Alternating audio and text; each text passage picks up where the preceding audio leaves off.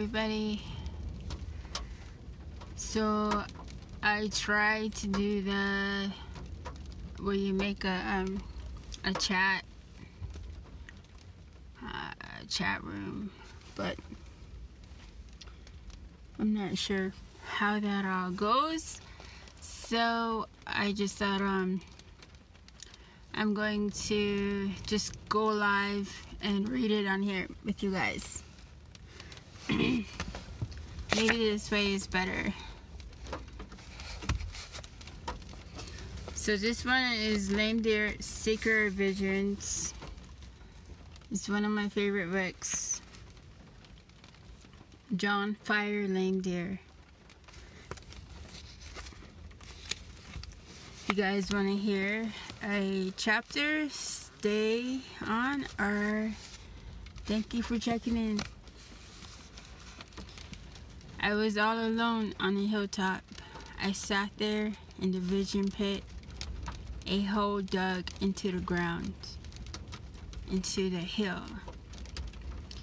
My arms hugging my knees as I watched Old Man Chest, the medicine man who had brought me there, disappear far down in the valley.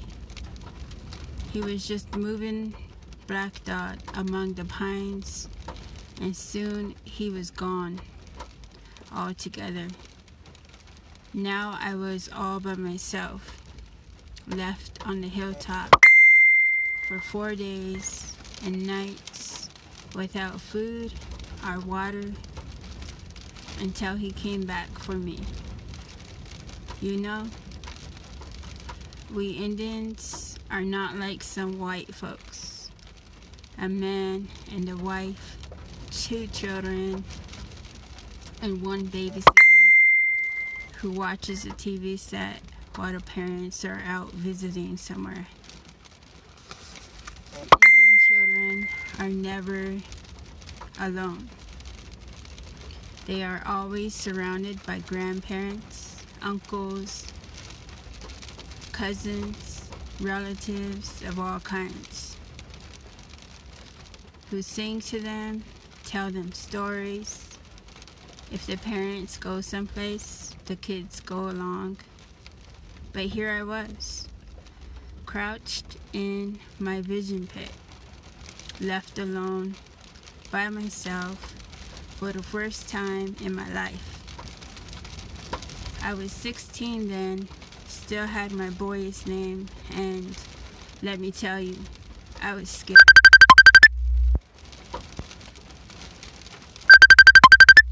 Hold on, let me Let me tell you, I was scared. Now I lost my place. I was shivering, and not only from the cold, the nearest human being was miles away. Four days and nights is a long, long time. Of course, when it was all over, I would no longer be a boy, but a man. I would have had my vision. I would be given a man's name. Sioux men are not afraid to endure hunger, thirst, and loneliness. And I was only 96 hours away from being a man. The thought was comforting. Comforting too was the warmth of the star blanket which Old Man Chest had wrapped around me to cover my nakedness. My grandmother had made it especially for this. My first hanblechia, my first vision seeking. It was beautifully designed quilt white with a large morning star made of many pieces of brightly colored cloth. That star was so big, it covered the most of the blanket. If Wakan Tanka, the Great Spirit, would give me the vision and the power, I would become a medicine man and perform many ceremonies wrapped in that quilt. I am an old man now and many times a grandfather, but I still have that star blanket my grandmother made for me. I treasure it. Someday I shall be buried in it. The medicine man had also left a peace pipe with me, together with a bag, our kind of tobacco, made of red willow bark. The pipe was even more of a friend to me than my star blanket. To us, the pipe is like an open Bible.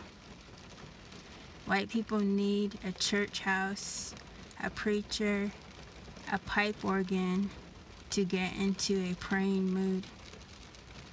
There are so many things to distract you.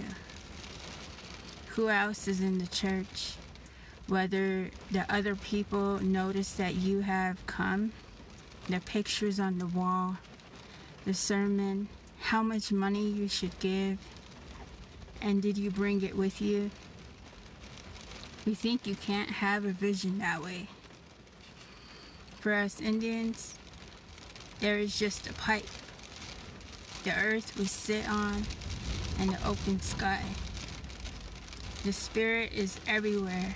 Sometimes it shows itself through an animal, a bird, or some trees and hills. Sometimes it speaks from the badlands, a stone, or even from the water. The smoke from the peace pipe, it goes straight up to the spirit world. But this is a two-way thing. Power flows to us through the smoke, through the pipe stem.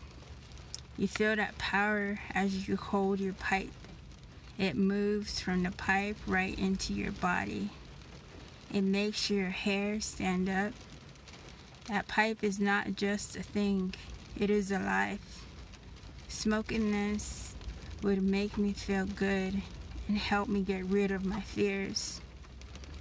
As I ran my fingers along its bold, smooth red pipe, red like the blood of my people. I no longer felt scared. The pipe had belonged to my father and to his father before him. It would someday pass to my son and through him to my grandchildren. As long as we had the pipe, there would be a Sioux nation.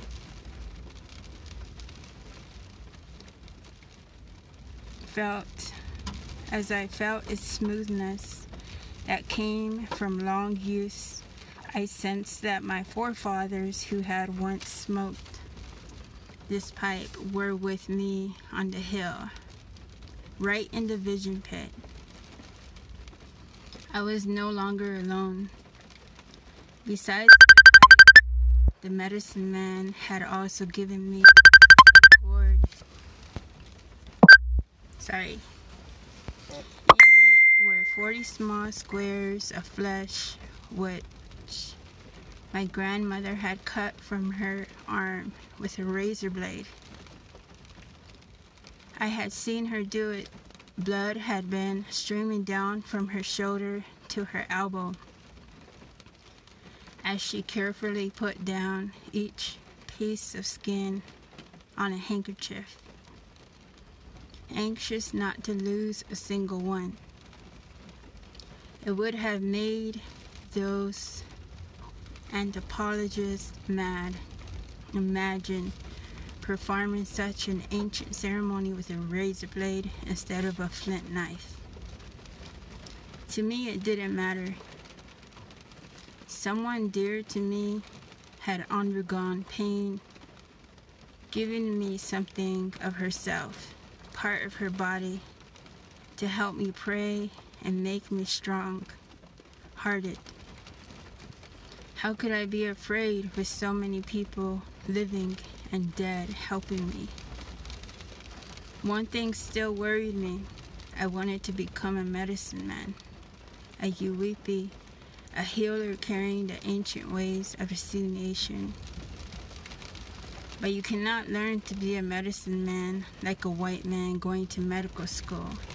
An old holy man can teach you about herbs and the right way to, to perform a ceremony where everything must be in its proper place, where every move, every word has its own special meaning. These things you can learn, like spelling, like training a horse, but by themselves, these things mean nothing. Without the vision and the power, this learning will no long will do no good. It would not make me a medicine man. What if I failed? If I failed, if I had no vision? or if I dreamed of thunder beings or lightning struck on the hill. That would make me at once into a heyoka, a contrary-wise and upside-down man, a clown.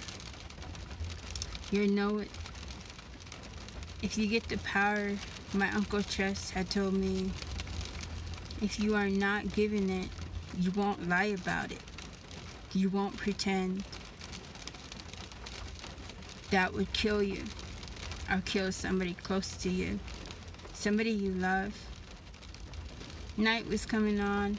I was still lightheaded and dizzy from the first sweat bath in which I had purified myself before going up on the hill. I had never been in a sweat lodge before. I had sat in the hill beehive-shaped hut made of bent willow branches and covered with blankets to keep the heat in. Old Chest and three other, other medicine men had been in the lodge with me. I had my back against the wall, edging as far away as I could from the red hot stones glowing in the center. As Chest poured water over the rocks, hissing white steam enveloped me and filled my lungs. I thought the heat would kill me, burn the eyelids off my face. But right in the middle of all of this swirling steam, I heard Chest singing. So it couldn't be all that bad. I did not cry out. All my relatives which would have made him open the flap of the sweat lodge to let in some cool air. I was proud of this. I heard him praying for me. Oh, holy rocks, we receive your white breath, the steam, it is breath of life. Let this young boy inhale it, make him strong. The sweat bath had prepared me for my vision seeking. Even now, an hour later, my skin still tingled. But it seemed to have made my brains empty. Maybe that was good. Plenty of room for new insights. So this is um, Lame Deer Secret Visions for whoever's watching. That is chapter one. Well, only like two pages of chapter one. I wanted to read you guys some of that because this is really, um, I think this is really a good read right now, you know, because there's a lot of people that are scared and a lot of people that need some type of um, belief and faith because I feel like a lot of people are losing their faith. So, this is a really good book to read. I think it's on Amazon. is a for is um you can get it on Amazon. But you guys don't be scared. Alright? Don't shy.